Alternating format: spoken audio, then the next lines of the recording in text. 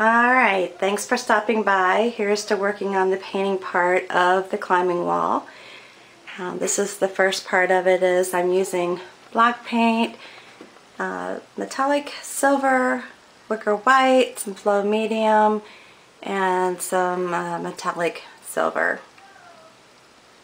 Using a woolie tool, which I've had for a long time. I'm not sure if they still sell them, but it's a tool to actually do faux painting with. So anyways, just wanted to give you a sneak peek. I'm almost done. Yay, yay, yay. And I will come back when I'm done.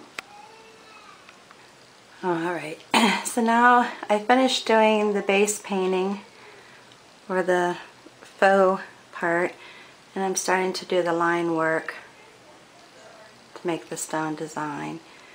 Nothing fancy, but it serves its point right?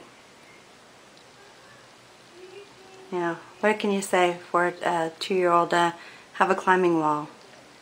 They don't expect anything, right? Not too much.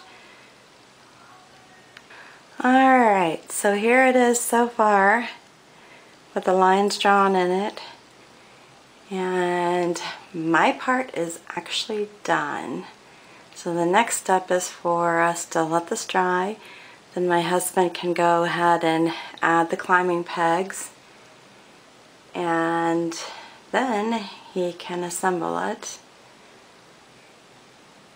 and then hopefully we can introduce this to our grandson on Christmas Eve.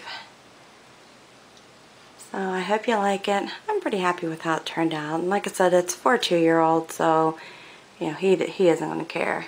The main thing is that he gets to climb, which is what he likes to do right now. It's all about being a two-year-old who likes to climb.